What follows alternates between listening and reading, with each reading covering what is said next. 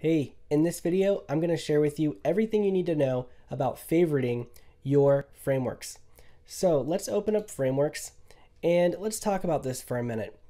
In your day-to-day -day, writing copy and closers copy, you're going to notice that you lean more towards using certain frameworks than others. It's pretty inevitable. You'll find some that you like and some that you don't use as often. So it's important that you speed up your workflow by favoriting them and being able to find them really fast and efficiently. So let's go ahead and talk about favoriting. For example, when I'm creating ads, I know that I like to use the attention, interest, desire, action uh, framework. So let's go ahead and favorite that. If I go ahead and favorite that, I can now put this in my favorite ads. And I'll go ahead and save this. Now what you'll notice is that right inside of my favorite ads, under my favorites, you'll see the AIDA category.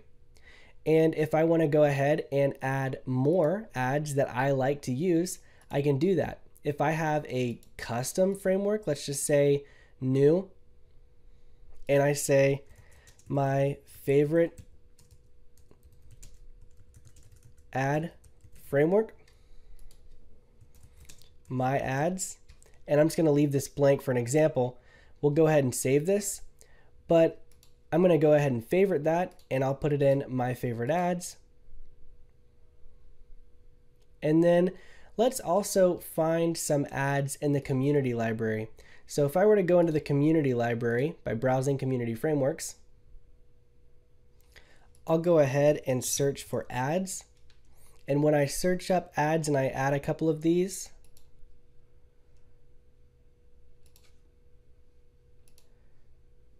So you'll see that the ones that I've just added are now in the community library. So what I'll do is I'll go to my Facebook ads and I'll favorite these.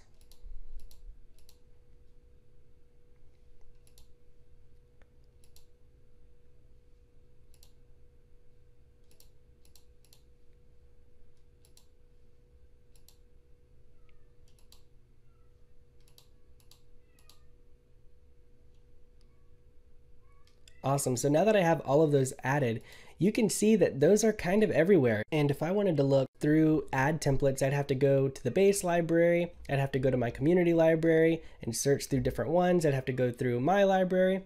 But now all I have to do is hit my favorite ads, and you can see that I've got ads from my library, community library, and the base library, and I can use these all from my favorite ads which is super great because now I don't have to go digging all around trying to find these.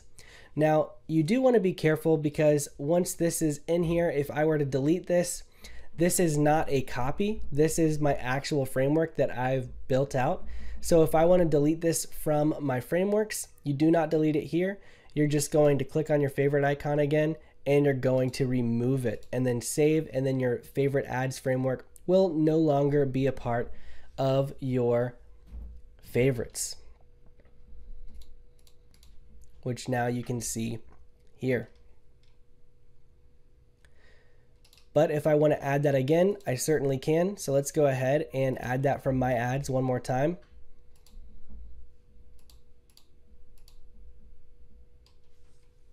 And then one other thing I want to mention is that let's say I use the AIDA updated ad framework for emails as well. I can go ahead and actually click on this and also add it. If I add a comma, I can say my favorite emails because I may not just use that for an ad formula. I may follow the AIDA framework for emails as well.